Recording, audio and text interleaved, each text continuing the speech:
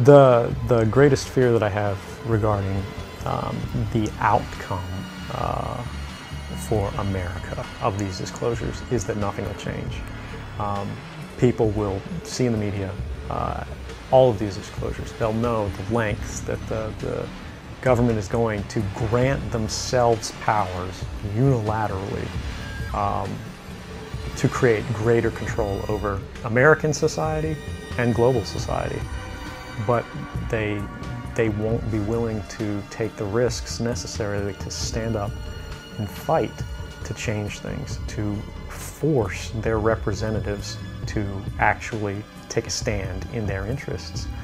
Uh, and the months ahead, the, the years ahead, it's only going to get worse. Greetings, citizens of the world. We are anonymous. It has now been one year since Edward Snowden's revelations have illustrated to everyone the National Security Agency's true agenda by removing their shroud of secrecy. For our very basic human right of privacy to be taken from us, is a dystopian future that we are looking toward if we do not act now. Throughout this time nothing of any true consequence has come of his leaks, and the NSA is still just as powerful and exempt from repercussion as ever while corrupt politicians have lined their own pockets by taking hundreds of thousands of dollars in bribes to fulfill their financiers' wishes in securing profits for their militaristic surveillance tools, the rest of us are suffocating from these enormously wasteful expenditures and forced to work our lives away in this post-recession world, barely able to feed ourselves and our families, while the NSA's League of Profiteers reap millions. For humanity to see its future it must destroy what holds it back, and abolishing the NSA is a crucial step forward to regain our freedoms. The ability to punish any dissenting voice as acts of terror, as leaks have revealed, are a testament to the true nature of this and to demonstrate to the rest of the world what happens when its legitimacy is questioned or challenged.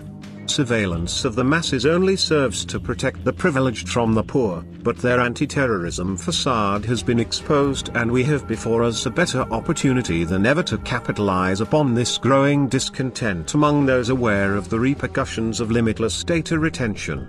November elections are but a few months away, and the time has come to take our government away from the agendas of the corporations that control it. This can only be done by you, as a citizen of your country, by being informed of who represents your true interests. It is up to you to research your candidates and make every vote count.